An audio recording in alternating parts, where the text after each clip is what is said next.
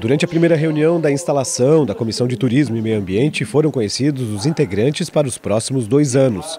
Na ocasião, teve eleição para presidente e vice. Para presidente, Ivan Nats foi reconduzido. Vice-presidente ficou Valdir Cobalcini. Paulinha, do PDT, integra o grupo. Dirce Heiderschad também. Fabiano da Luz, Marlene Fengler e Nazareno Martins.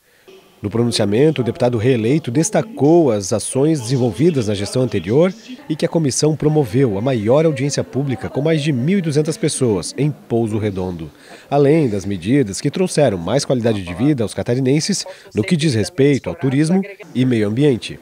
Juntos nós vamos fazer um grande time, um time que vai fortalecer a Assembleia, vai fortalecer o turismo de Santa Catarina e vai criar é, instrumentos de apoio a essa indústria fantástica que é o turismo catarinense. Cabe a essa comissão fiscalizar ações do poder público referentes à fauna, flora e solo, assim como qualidade da água e do ar. Na área do turismo, algumas prerrogativas desta comissão é participar de políticas e sistema de gestão e desenvolvimento turístico e recursos humanos e financeiros para o setor.